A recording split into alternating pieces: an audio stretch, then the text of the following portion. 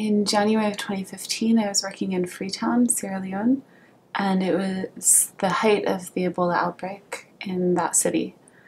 And everyone was really afraid. And unfortunately, that fear translated into a policy of containment using quarantines. And very large number of people, entire families, entire communities were placed under quarantine. And it meant that they were essentially locked into their homes. And there wasn't a very good plan for how to get food and water and medical care to them. My team was going from quarantine to quarantine and interviewing people to see if they had what they needed to survive for that period. And what we found is virtually no one had just the basics that they needed. There were pregnant women who were locked into quarantines and they didn't know where they would go to be able to deliver their baby safely. We had situations where families were in a quarantine without access to a latrine. We had a huge database showing how many people were lacking basic necessities, but no one was really listening to us when we were trying to advocate for increasing their access to food and water and healthcare. So we gave the database to the GIS officer who was working with us, and he mapped it.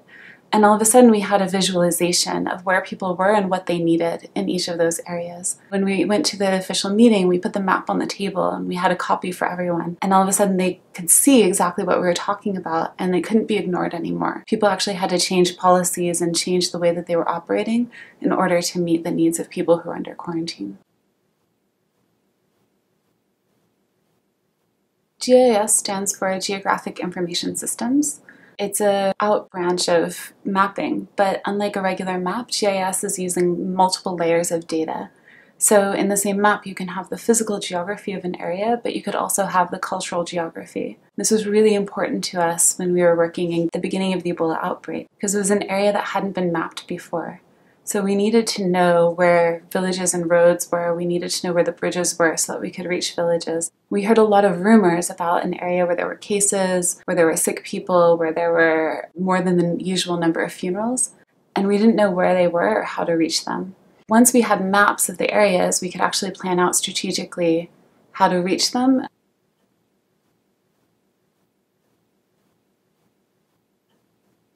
One of the really difficult things in Ebola is that we felt like we were always running after cases. GIS was really important to us when we were able to map the exact location of cases and then also how many cases had been found in each location. In that way, instead of simply sending medical teams to places that already had cases of Ebola, we could also send health educators to places that were geographically proximate but didn't yet have cases of Ebola. And that was really the first step that we were using to try to prevent the spread of the virus into new communities. It meant that we worked faster, it meant that we worked with better information, we could be more strategic, and ultimately we saved more lives because we had better mapping available to us.